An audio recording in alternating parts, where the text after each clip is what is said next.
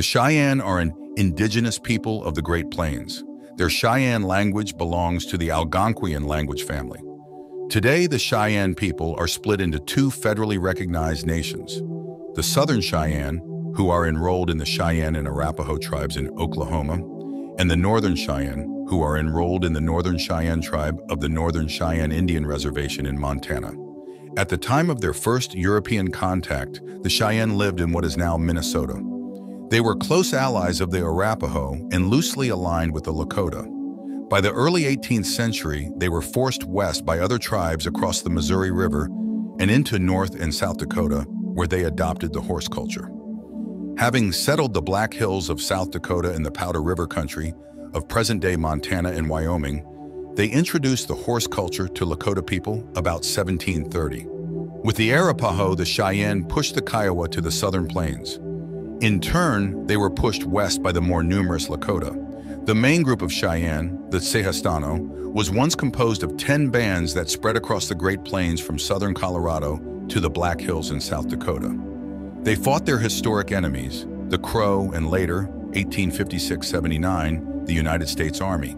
In the mid-19th century, the bands began to split, with some bands choosing to remain near the Black Hills, while others chose to remain near the Platte Rivers of central Colorado. The Northern Cheyenne, known in Cheyenne either as Notamio Mesihiza, meaning Northern Eaters, or simply as Omasihizi, meaning Eaters, live in southeastern Montana on the Northern Cheyenne Indian Reservation. Tribal enrollment figures as of late 2014 indicate that there are approximately 10,840 members, of which about 4,939 reside on the reservation. Approximately 91% of the population are Native Americans, full or part race, with 72.8% identifying themselves as Cheyenne. Slightly more than one quarter of the population five years or older spoke a language other than English. The Southern Cheyenne, known in Cheyenne as Jibehetoneo, meaning rope people, together with the Southern Arapaho, form the Cheyenne and Arapaho tribes in western Oklahoma. Their combined population is 12,130 as of 2008.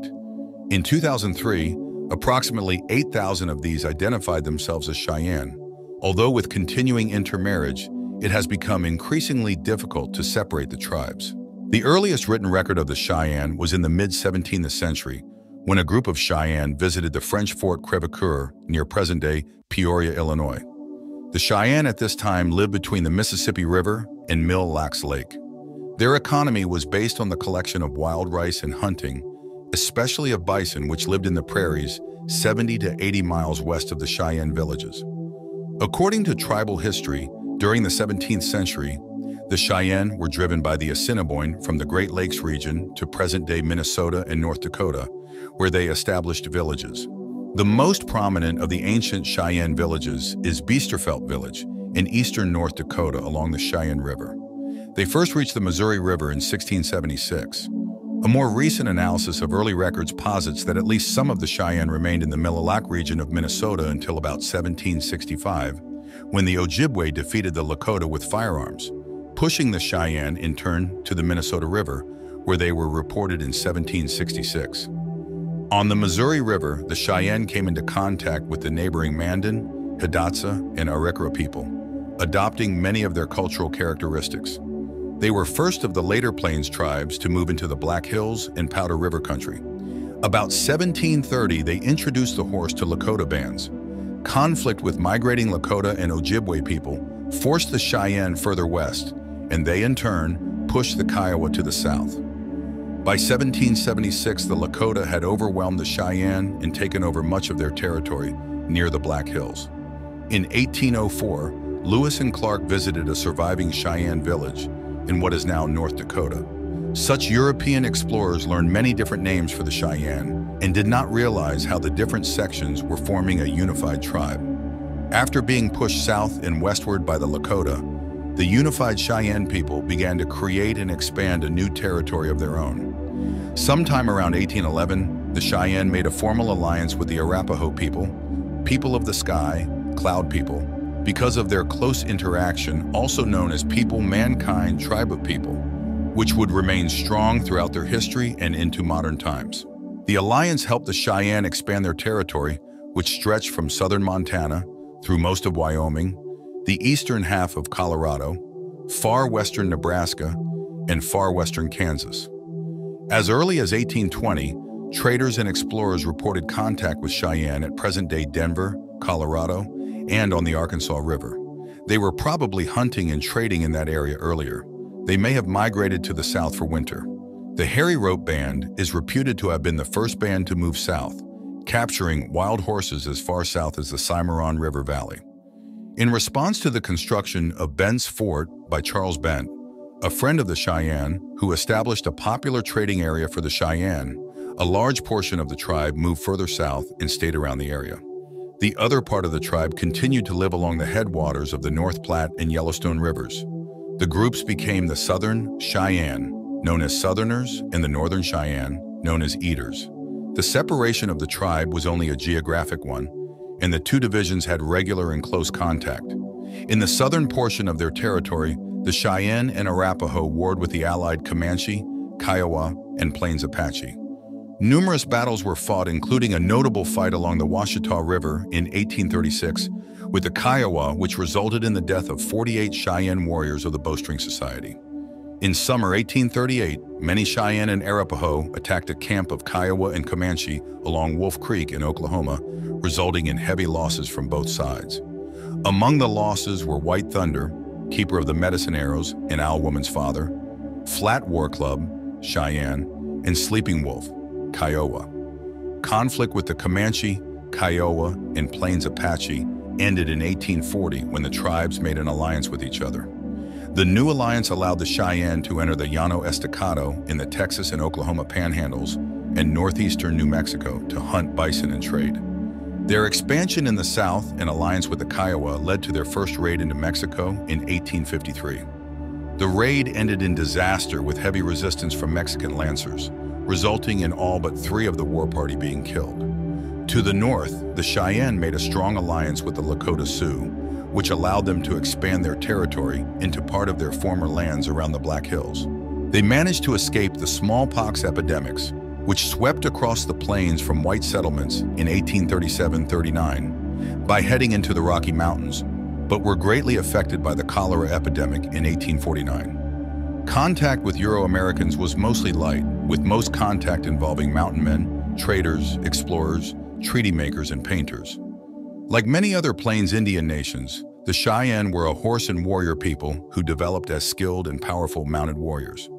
A warrior was viewed by the people not as a maker of war, but as a protector, provider, and leader. Warriors gained rank in Cheyenne society by performing and accumulating various acts of bravery in battle known as coups. The title of war chief could be earned by any warrior who performs enough of the specific coups required to become a war chief. Specific warrior societies developed among the Cheyenne as with other Plains nations. Each society had selected leaders who would invite those that they saw worthy enough to their society lodge for initiation into the society. Often, societies would have minor rivalries.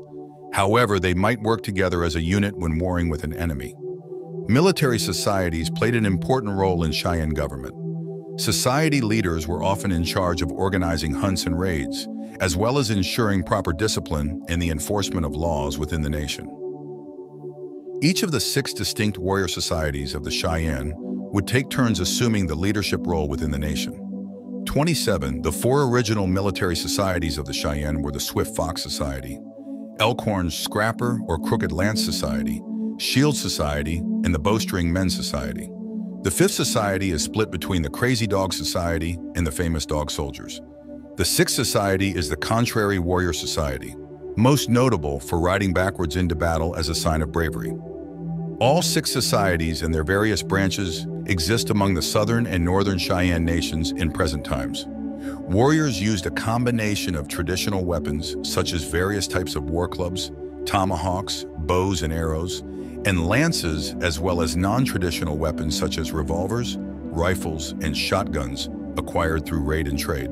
The enemies of the Cheyenne included the Crow, Crowbird people, Shoshone, Blackfeet, same literal meaning, Flathead, flat-headed people, Nez Perce, Pierce Nose people, Arikara, Gros Ventre, beggars for meat, spongers or lit, scouting all over ones, Assiniboine and Plains Cree, rabbit people, to the north and west of Cheyenne territory. By the help of the medicine arrows, the Mahuts, the Cheyenne tribe massacred a Crow camp in 1820. To the east of Cheyenne territory, they fought with the Sioux, Pawnee, wolf people, possibly an adaptive from the Pawnee or Wolf Pawnee, Ponca, Cow, Cut Hair people, Iowa, Ho-Chunk, and Omaha. The Cheyenne lost the medicine arrows during an attack on a hunting camp of Pawnees around 1830. 29.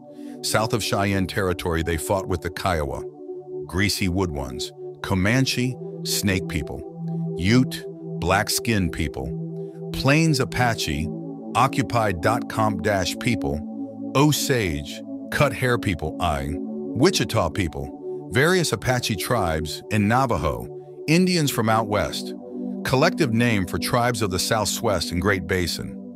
Many of the enemies the Cheyenne fought were only encountered occasionally, such as on a long-distance raid or hunt. Some of their enemies, particularly the Indian peoples of the eastern Great Plains, such as the Pawnee and Osage, would act as Indian scouts for the U.S. Army, providing valuable tracking skills and information regarding Cheyenne habits and fighting strategies to U.S. soldiers. Some of their enemies, such as the Lakota, would later in their history become their strong allies, helping the Cheyenne fight against the United States Army during Red Cloud's War and the Great Sioux War of 1876. The Comanche, Kiowa, and Plains Apache became allies of the Cheyenne towards the end of the Indian Wars on the Southern Plains, fighting together during conflicts such as the Red River War. The Cheyenne and Arapaho people formed an alliance around 1811 that helped them expand their territories and strengthen their presence on the plains. Like the Cheyenne, the Arapaho language is part of the Algonquian group, although the two languages are not mutually intelligible. The Arapaho remained strong allies with the Cheyenne and helped them fight alongside the Sioux during Red Cloud's War and the Great Sioux War of 1876, also known commonly as the Black Hills War. On the southern plains, the Arapaho and Cheyenne allied with the Comanche, Kiowa, and Plains Apache to fight invading settlers and U.S. soldiers. The Arapaho were present with the Cheyenne at the Sand Creek Massacre, when a peaceful encampment of mostly women, children, and the elderly were attacked and massacred by U.S. soldiers. Both major divisions of the Cheyenne, the Northern Cheyenne and Southern Cheyenne, were allies to the Arapaho, who like the Cheyenne are split into Northern and Southern divisions. The Southern Cheyenne and Southern Arapaho were assigned to the same reservation in Oklahoma Indian Territory and remained together as the federally recognized Cheyenne and Arapaho tribes after the reservation was opened to American settlement and into modern times. The Northern Arapaho were to be assigned a reservation of their own or share one with the Cheyenne. However, the government failed to provide them with either and placed them on the already established Wind River Indian Reservation in Wyoming with their former enemies, the Shoshone. In the summer of 1825, the tribe was visited on the Upper Missouri by a U.S. Treaty Commission consisting of General Henry Atkinson and Indian agent Benjamin O'Fallon, accompanied by a military escort of 476 men. General Atkinson and his fellow commissioner left Fort Atkinson on May 16, 1825. Ascending the Missouri, they negotiated treaties of friendship and trade with tribes of the upper Missouri, including the Arikara, the Cheyenne, the Crow, the Mandan, the Ponca, and several bands of the Sioux. At that time, the U.S. had competition on the upper Missouri from British traders, who came south from Canada. The treaties acknowledged that the tribes lived within the United States vowed perpetual friendship between the U.S. and the tribes, and recognizing the right of the United States to regulate trade, the tribes promised to deal only with licensed traders. The tribes agreed to forswear private retaliation for injuries and to return stolen horses or other goods or compensate the owner. The Commission's efforts to contact the Blackfoot and the Assiniboine were unsuccessful.